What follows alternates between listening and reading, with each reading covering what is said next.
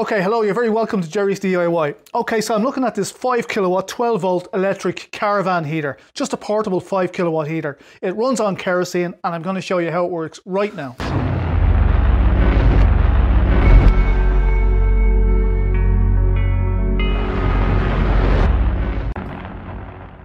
So I'm in my brother-in-law's workshop.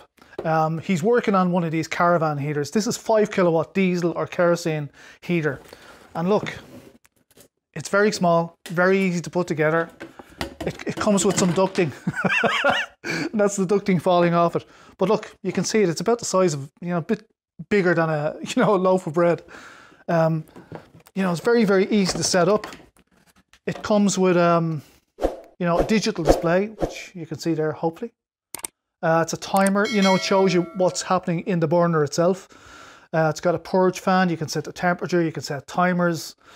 Um, and it comes as well with a little little remote control. So you can set it with this. This tells you the temperature and everything. And you can switch it on and off with this as well if you want. Brilliant. So I have a 12 volt car battery. Uh, I've got this hooked up to a power supply, which is the 12 volts down into this. You can see the leads connected to the battery. Okay, this is the actual air intake. So it sucks in air from outside, burns it in here, makes heat, and sends the exhaust gas out this um, you know, it looks like one inch stainless steel, um, kind of a corrugated pipe. And that's the little exhaust on the end. So essentially what happens is this has to go outside no matter what.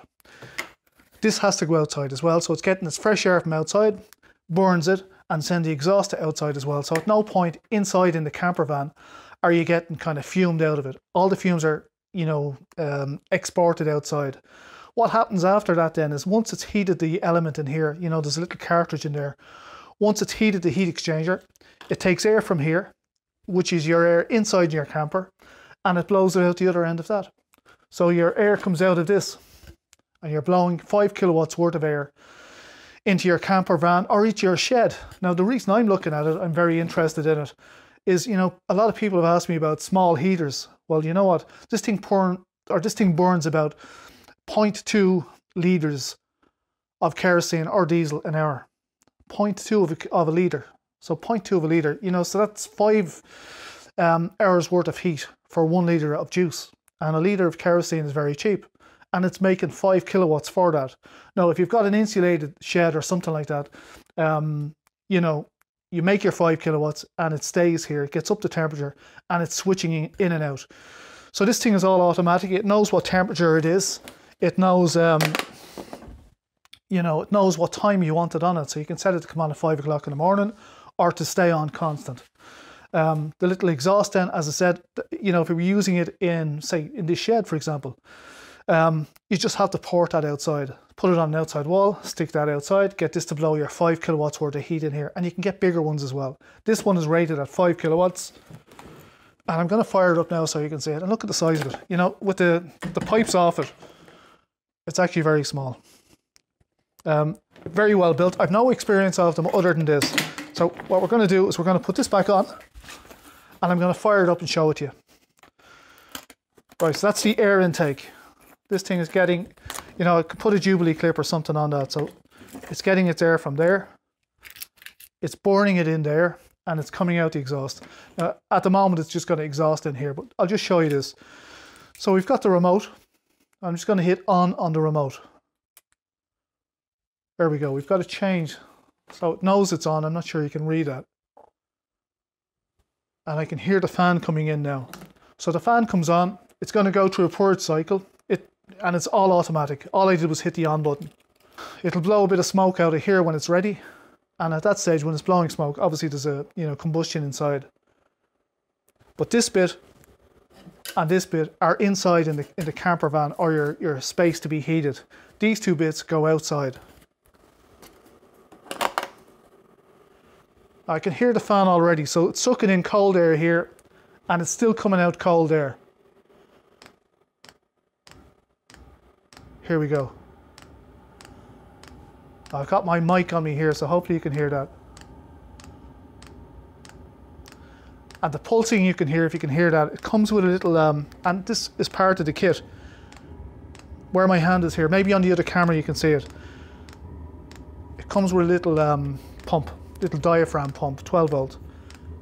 The complete kit is about 100, you know, I think it's about 100 sterling, something like that.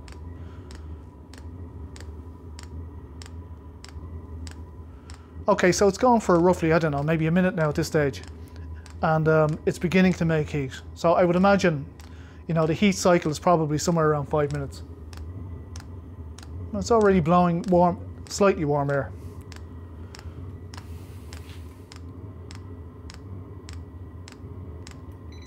Okay, so if you can see that, it's up to 20 degrees so far. Now, the ambient temperature in here, let's get a wall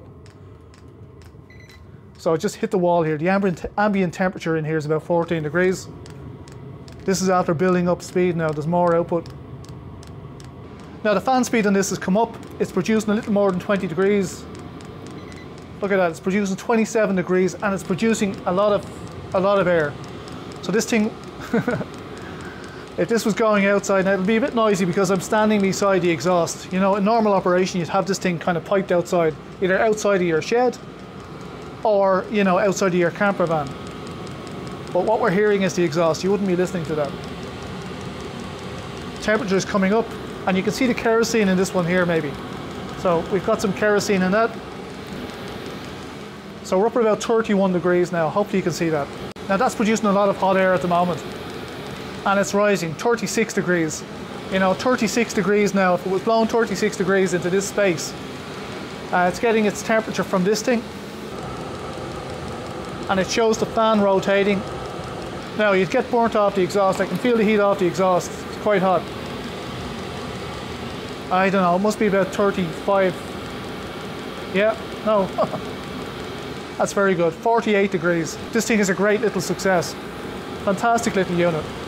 Okay, so we've got 55 degrees out of that now. So, the, you know, the air temperature is great.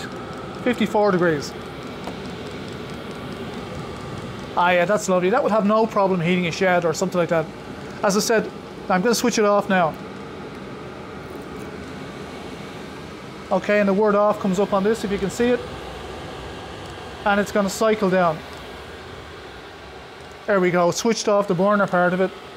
And it'll keep running, you know, I would imagine until it cools the, the heat exchanger down and purges itself, itself of the, uh, the exhaust gases. These things are absolutely fantastic for what they are. I think, as I said, I think it's about 100 quid and um, really brilliant. No problem this thing heating a workspace. No problem whatsoever. If you had a small shed or something, no making on this. Just, you know, get yourself a 12 volt power supply, hook one of these things up. Can't go far wrong with that. I'm really, really impressed with these. Now these are a fantastic little unit. Anybody could install one of these and it's just up to yourself as to where you would put one in. But uh, this is the first time I've seen them.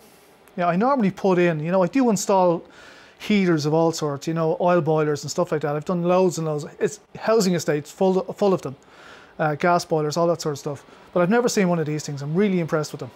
Uh, big shout out to Jamie and thanks very much for letting me use his shed. Thanks very much for letting me see this. And uh, if you want to see Jamie's channel, I'll have a link below in the description. So look, I'm going to leave it there for now. If you liked the video, please thumbs up, subscribe down here. If you're thinking of buying one of these things, you know, click on the link below and uh, maybe buy one through the link. And look, I'll see you all in the next video. Thanks very much for all the support. Bye for now. Good luck.